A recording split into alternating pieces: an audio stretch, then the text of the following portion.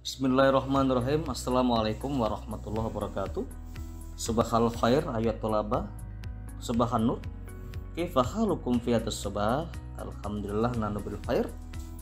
Baik, pada kesempatan hari ini kita akan belajar tentang Dorfuz zaman wal makan. Apa? Kita belajar tentang Dorfuz zaman wal makan. Tabda bil basmalah. Bismillahirrahmanirrahim Pengertian secara garis besar. Secara garis besar yang kita bahas adalah durufus zaman wal makan. Apa itu duruf? Duruf itu keadaan. Duruf adalah keadaan, zaman itu waktu, artinya waktu.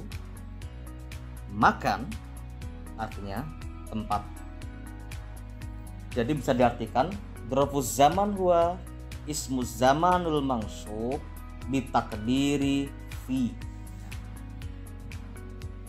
Jadi kita bahas ada dorof zaman dorof makan. Dorof zaman ialah isim yang menunjukkan waktu yang i'rabnya dan dinasobkan nasob berarti dia berharokat fathah. Dengan memperkirakan makna fi. Jadi fi itu kan artinya di dalam atau pada. Jadi dia dinasobkan dan diperkirakan bahwasanya maknanya itu adalah di dalam. Lebih jelasnya kita sampaikan selanjutnya.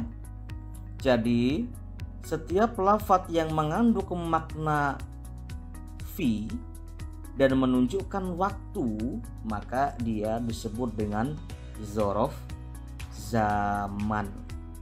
Setiap lafat atau isim yang mengandung makna fi ingat mengandung makna fi di dalam atau di dalam dan menunjukkan waktu maka ia adalah zorof zaman. Contohnya subhanalladzi asra bi abdihi lailan minal masjidil harami ilal masjidil aqsa yang artinya Maha Suci Allah yang telah memperjalankan hambanya pada suatu malam lailan lailan pada suatu malam. Karena bisa laili tapi di sini kita lailan itu untuk zorof zaman. Lailan itu fil laili. Asal katanya fil laili sebenarnya cuma karena dia ada zorof zaman menunjukkan waktu. Laila. Minal masjidil haram ilal masjidil aqsa. Contoh yang lain. Sumtu yaumal khomis. Saya berpuasa pada hari Kamis. Sumtu fi yaumil khomis. Bisa sebenarnya sumtu fi yaumil khamis. Cuma kita efisiensi karena kita yauma saja sini ada nasabnya di sini yaumi menjadi yauma di sini ya. Dinasobkan pada kalimat atau pada kata pada sumtu yaumal khamis. Ada lagi yakro'u ahmadul qur'ana lailan Artinya Ahmad membaca Al-Quran pada malam hari Lailan Yauman. Seperti itu. Nah Kemudian apa saja yang termasuk zorof zaman? Yang termasuk zorof zaman Ingat di sini Zaman adalah waktu. Al-yaum Al-lailah yaum pada hari ini. Al-lailata. Pada malam ini. Ghudwatan pada pagi hari. Bukrotan.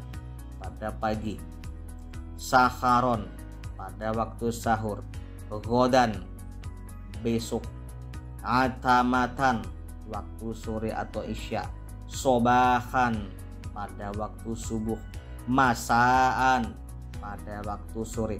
Abadan selamanya amadan sama saja selamanya hinan ketika jadi ini kalau kita memakai kata-kata ataupun kita ingin menerjemahkan ke dalam bahasa Arab ada atama, ada sobah, ada masa kita nggak usah pakai fi lagi karena sudah dinisbahkan di sini.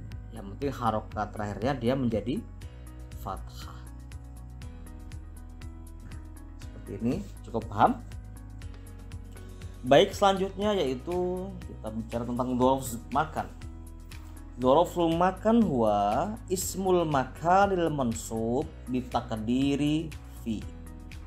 Artinya Zorof zaman artinya isim makan atau isim yang menunjukkan tempat tempat kejadian atau makan yang i'robnya dinasobkan yang harokat terakhirnya dia menjadi fathah dengan memperkirakan makna fi. Ya, sama seperti yang tadi di awal. Jadi setiap lafat yang mengandung makna fi dan itu menunjukkan tempat nah maka itu adalah zorof makan apa saja yang termasuk zorof makan. Yang termasuk zuruf makan di antaranya adalah amama khalfa atau waro'a kodama kodam di depan sama amam. Fauko di atas tahta di bawah ainda di dekat ma'a beserta izaa di muka khida'a di dekat tilqa'a di hadapan huna di sini hunaka mungkin sama aja di sana sama di sana sama sama hunaka sama. Nah, ini termasuk di antaranya zorof makan. Sebenarnya banyak cuma yang kita sajikan adalah ini. Ma'a iza'ah hida'a dan sebagainya. Bagaimana contohnya? Contohnya adalah wabanaina fauqakum sab'an shidada. Fauq wabanaina dan kami bangun fauqakum di atas kamu semua fauqo sab'an shidada tujuh buah langit yang kokoh di atas kamu faukokum fauko. Nggak usah pakai fi fauko lagi tapi pakai langsung fauko. Nggak usah pakai fi tahta langsung aja tahta. Jadi fi itu penghematan kata tidak digunakan lagi kalau setelahnya ada zorof makan. Contohnya jalastu amamal madarosati saya telah duduk di depan madrasah. Di depan amama. Nggak ada namanya fi amama nggak ada. Karena sudah ada zorof makan di situ. Penggunaan kata fi sudah tidak digunakan lagi ketika ada zorof makan. Seperti hanya zorof zaman tadi ya ketika zorof zaman ada maka bisa saja fi tidak digunakan. Ajlisu waro atilmizi hmm, saya sedang duduk. Waro atilmid di belakang siswa ya. Waro'a amama. Ini termasuk zorof zorof makan. Sampai sini paham terima kasih kemudian latihan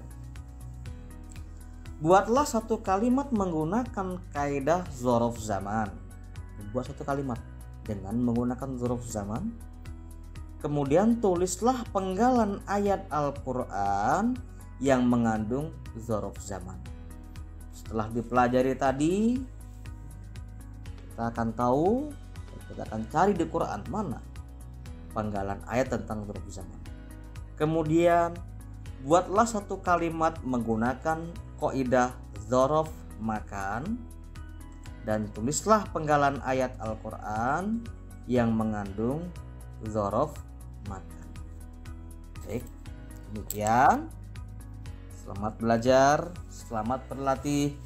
Apabila ada yang kurang paham, ada yang kurang jelas, kita bisa kontak lewat WA, via WA ataupun Facebook atau di kolom komentar di bawah ini. Terima kasih. Ma'an najah fi jami'i umurina. Wallahul muwafiq ila aqwamit thoriq. Summassalamu alaikum warahmatullahi wabarakatuh.